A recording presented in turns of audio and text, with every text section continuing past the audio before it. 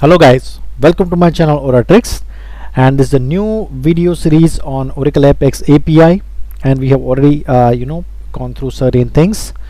So let's start for today's thing. So in this video I'm going to explain you about this display and save function. So as mentioned uh, uh, here you can use this to display an item as a text but you can save its value to the session state okay this is the syntax for executing the things and uh, some explanation has been given. Uh, so let's go to the example. Here I have already prepared uh, one page on that. That is hidden function display and save. Yes. So what I have done over here is uh, I have created uh, one classic report in which uh, the query which I have fired is this one so select apex underscore item dot display and save. So these session uh, it will save the values into the session. There is one and emp number. I also added the apex underscore item as text then uh, that is ename then uh, another text item that is a job. Uh, i don't want anything uh, editable. The, so i have kept it as it is apex underscore item dot date pop up which we have already done we have salary commission department number I don't want this to be edited though.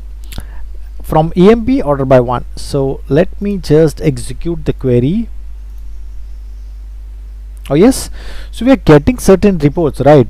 So here this EMP number is saved in the session state but uh, in current example what I've done is if you want to modify anything you know if you change anything over here and if you click on update button we want the data to be updated in the database right?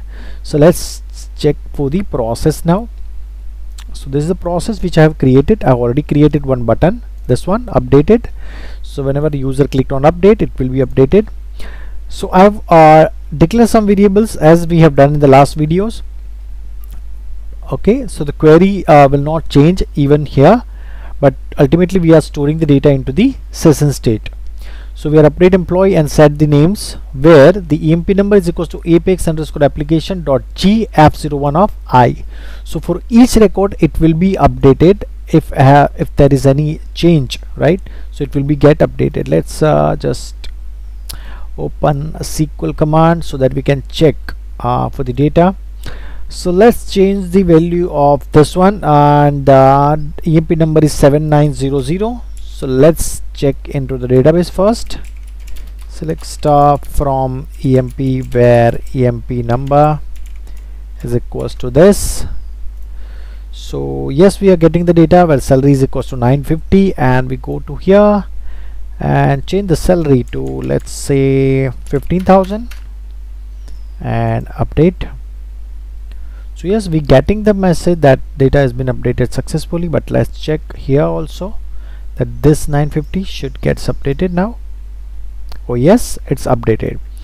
So as per the documentation which is provided by the oracle is uh, it's saying that you can use this function to display an item as a text. So we have tried we have uh, you know displayed the, this item that is emp number as a text and uh, that value is saved to a session state. Whenever you want to work on the session management then you can use utilize this particular thing.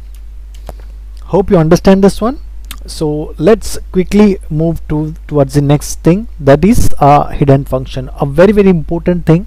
Whenever you want to keep uh, certain things hide uh, or hidden from the uh, user. So at that moment you can you can utilize this function. So this function dynamically generates an hidden item for you which you wants to be kept as a hidden. There is certain parameter and one example has been uh, given. So I've utilized that one. So let's get go to our application. So this is application and let me go to the page that is hidden function. There's a hidden function demo I think. Yes. Okay again we need to create one region over here as I've created this one and that's a classic report I have set and I've fired the SQL query. So just see this. Select apex underscore item dot hidden so this particular function will hide the emp number from displaying on the page. It will not be displayed on the page. Okay? So that is uh, item. And other thing I have kept as it is which we have uh, utilized in the, the earlier functions. We just need to have a demo of this one particular thing. Just let's okay and just run. So as you can see the currently uh, we are not able to see the employee number right because we have kept that particular item as a hidden from the user. You can uh, you know uh, use any uh, manager or maybe department number you can utilize to hide the particular item. So you just need to uh, use this particular thing apex underscore item dot hidden and just apply that particular thing okay? You will be able to use it. So let us run this one. Let me just save and run it. So we are able to see this. Now what we want is we want to update the query also okay? So same thing whatever we have done in the earlier videos just go to the page create one button and uh, put a process that the process is as simple as we have done in the earlier videos. That is begin for i to one to apex underscore application dot g f01 dot count. Loop update employee set. We are setting the items but here we have utilized the directly apex and application dot g underscore f02 so understand this one. Let's say let me just uh, go to here hidden demo. Let me just copy this particular query and let me take you to the update query let me paste so that you can understand this one. Now try to understand this. As far as this emp name is concerned right? So I have put that item as a 2 so that's why you have right right g underscore f02 right? This is the way how you utilize or you know get those values.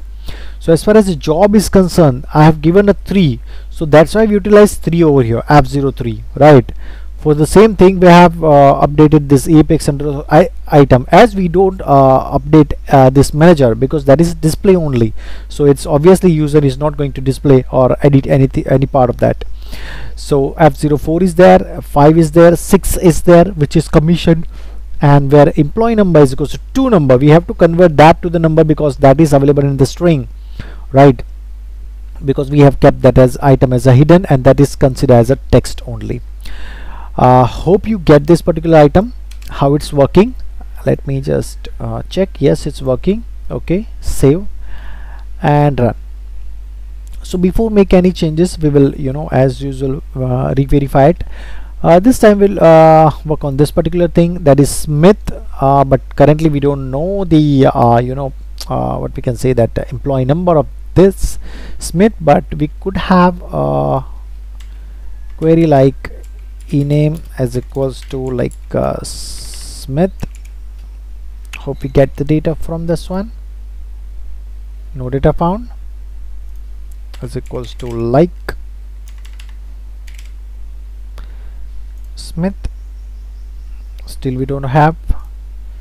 Let's go and check how it's written. Yes it's Smith